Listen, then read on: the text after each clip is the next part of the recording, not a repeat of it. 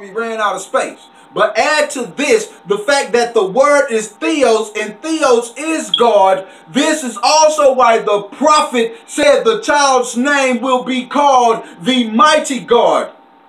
Jesus taught the mysterious name of God his Father, and he taught that he and his Father are one, meaning he is the Father, which is why the prophet said the child's name will be called the everlasting Father.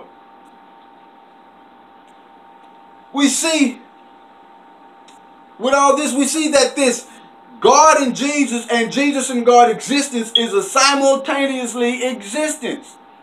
This is how God was on his throne for Jesus to pray to him and yet be in Jesus to by his own self reconcile the world back to himself.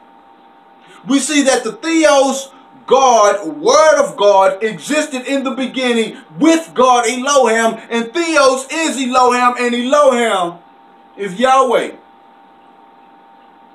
Other than saying, My Father is in me, he who has seen me has seen the Father, and my Father and I are one. Jesus himself never said, I am God. This is because him being the Son of God and God with man on earth by way of him is a revelation that a person had to come to on their own.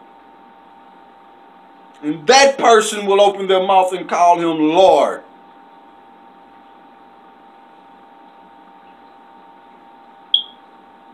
To do this will both prove and show that you have truly set your heart and not your mind to seek God and his truth and his ways and his righteousness. You see, God is the most holiest thing in all of existence, both spiritual and physical. So God can swear by nothing but himself. God can pray to no one but himself. God does all things by no thing but his own self. And this is because there is nothing or no one greater and holier than God, Yahweh alone. Don't forget, don't ever forget. We are trying to get to God. And all of God is God. Meaning, if you can just find and grab hold to a piece of God, be it the Word of God or the Spirit of God or the righteousness of God or the works of God, if you can just but find and grab hold to a piece of God, it will bring you to God. But you have to choose to follow and serve under the revelation that God is your Father. If so be that you walk in the Spirit of God, and so you are not a servant, but an obedient child of the Father. From outcast to servant, from servant to son. One step at a time. This is our hope. This is our hope. Now,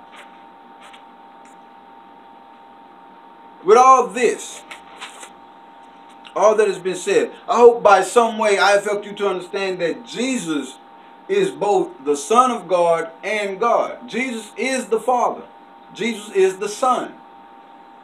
Jesus is the Word of God, and yet Jesus is God. God is supreme and Jesus is of the supreme.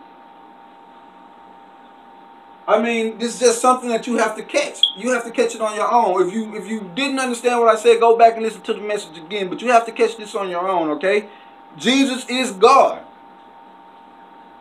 God is God. Jesus is both. God is both. They are one. Um, if you don't catch this message, I'm going to do another show called Islam 101 where I'm going to deal with uh Surah. I think it's chapter I forgot the chapter. But the show is going to be called um The Trinity. And so I'm going to deal with the Trinity on that show, and it's going to be directed specifically to my Islamic friends. But anyway, closing out this show, I hope by some way I've helped you to understand who Jesus really is. And my Islamic friends, I would like for y'all to go back and look at some of my other shows because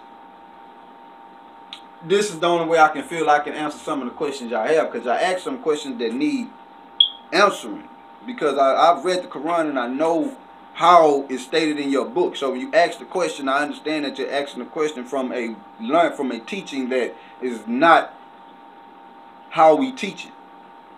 It says it's of us, but that's not how we teach that. And your questions are based upon that line of something that we don't teach. So I hope y'all go back and watch some other shows. With that being said, if this show has moved you and you want to say that Jesus, I want to make you Lord and God, I want you to be my Father, then will you please bow your head and pray with me? And if you are already in the family of Christ, can you bow your head and pray with us as we welcome into this family of ours these new souls and let the angels rejoice and let God say thank you forevermore unto us.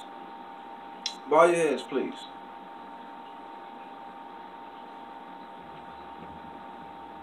Lord God, I come before you today as a sinner. I humbly ask you to forgive me of my sins. Look upon me and have mercy upon me. Jesus, this day I accept your works.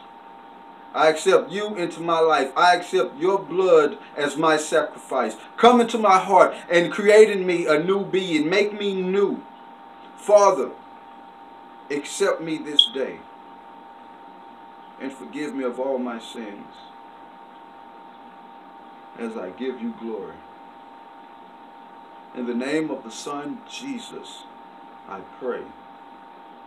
Amen and amen.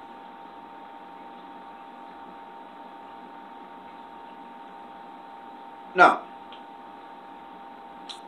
if you've prayed that prayer with me, then I truly hope that you have, I truly know that you have become part of this blessed family of God. And it behooves us to accomplish and fulfill our righteousness.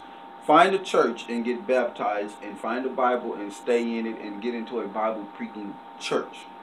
If you cannot go to a church to get baptized because things prevent you from doing that, then Go into the bathroom, fill it up, fill your tub up with water, close the door, bless the water in the name of the Father, the Son, and the Holy Spirit, and then dunk yourself. Be baptized. Rise up anew.